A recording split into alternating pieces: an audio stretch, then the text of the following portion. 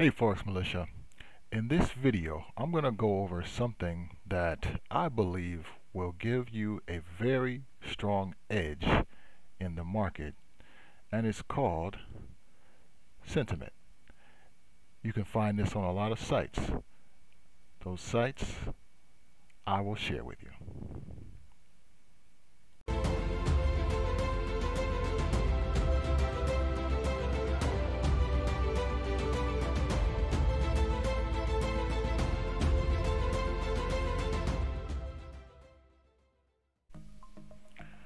Hey Forex Militia, this is Preston. Uh, I am basically going to give you some of the knowledge that I've uh, attained from basically trading sentiment. This is a site called FX Blue that has a couple of market indicators. I would I would call it market data. I'm going to show you exactly what they basically offer over here on FX Blue. I believe it's an English site. Uh, so here's here's what we got: real-time charts, technical analysis, market overviews, tick charts, currency strength, correlation matrix, trader sentiment, which is what I'm talking about today, currency heat map, session map, quote boards. They also have calculators. Uh, this this is actually also good for when you're basically looking to position size. You want to see if the profit factor of uh, the trade you're going to take and of course Fibonacci and these things. But let's focus in on trader sentiment. So this means, what does this mean? What does this mean? This means the retail traders this is a measure of the retail traders. The retail traders on these currencies are usually wrong. This is the reason why 90% of traders basically lose. So when you see a sentiment of 2172, what this is saying is the balance of the traders that FX Blue is following, just FX Blue is following, they are short. So because we know that the, they are short and the retail traders are usually 90% wrong, we are going to do the opposite. We are going to go long. The reason for this is I believe this is because the banks, when they basically see that the retail traders take their position short, they know that all the stops, just like here, let's see, yeah, I'm going, I'm going to do this on the uh, pound yen. The pound yen is saying that, um, let me see, let me find it over here.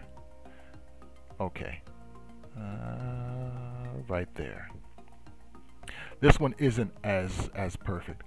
This says that 55% of the retail traders that FX Blue is following are long. So we, we would want to go short. The problem is you want to have this indicator above the 60% mark. That 50 range in the 50s is more like more of a neutral. So you really can't get a good read on it. So okay, I was going to use the pound yen. Let's go ahead and just use the Aussie CAD. Right here you can see that 78% of the retail traders are short. So we would want to go long.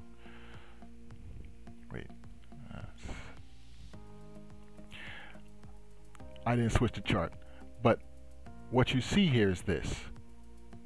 This is 78. This is 21. So we basically want to go long and not go short. Okay, let me switch it back over.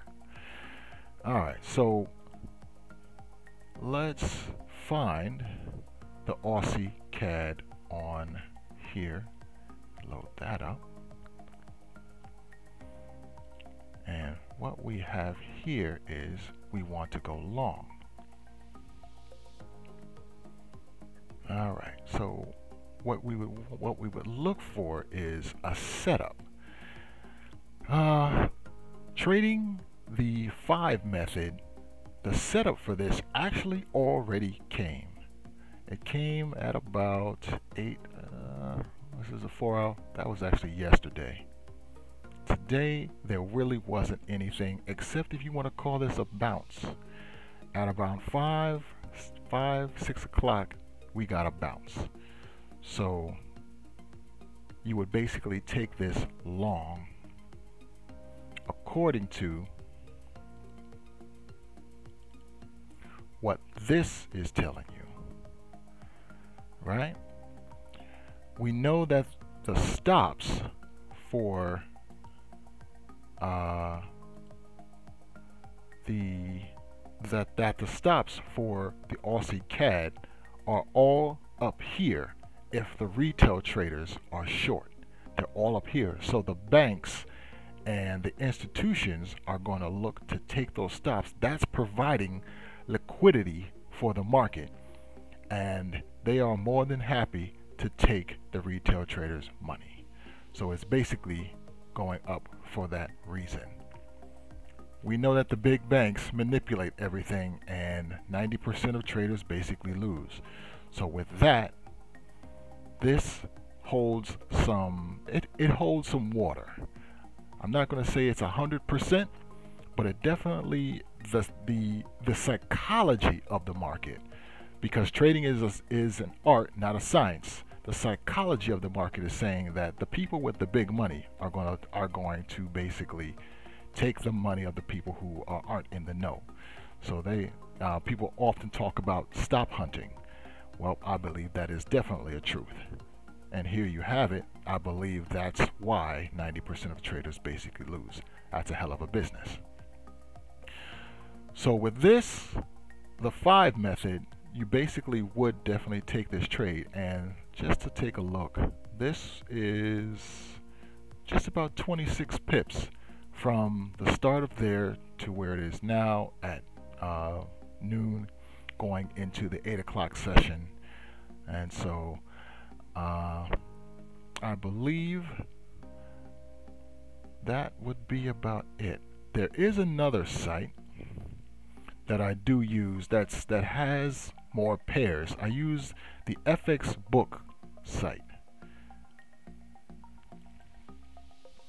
FX Book has a lot more uh, currencies that they basically follow. And so, as you can see here, let's look for the Aussie CAD. Again, the Aussie CAD is 90% short and 10% long. That is an extreme. That's an extreme.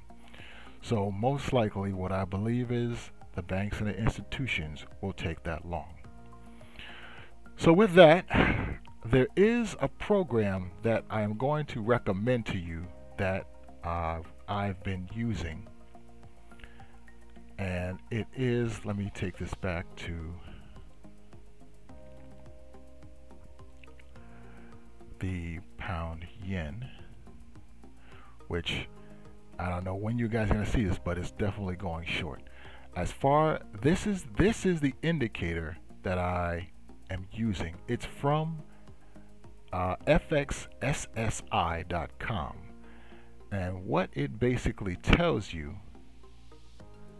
it gives you a look at the different brokerages and that that is measuring the long short positioning of their retail traders. And as you can see, this is Oanda, IGG, uh, FX Blue, SSI, uh, this is probably FX.com, Dukas, Saxo, Forex Factory. You know, it has a, it has a, a good number of brokerages and uh, websites that are following re retail traders. Um, this right now is on the demo. So this is a little bit late But there is another indicator um, called uh, the Sentiment Light, which they do offer for free, and you get just one indicator, one company that uh, will uh, give you a look see as to what the retail traders are doing.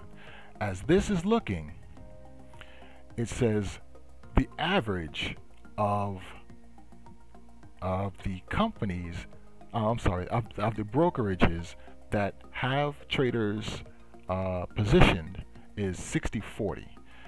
So that would be um, long. This side is long, this side is short. And so the contrarian method says that we should go short. And on my, on the, uh, on the five method, it's setting up that this is basically about to go short. So that's everything I wanted to basically cover. Knowledge is power and power to the people.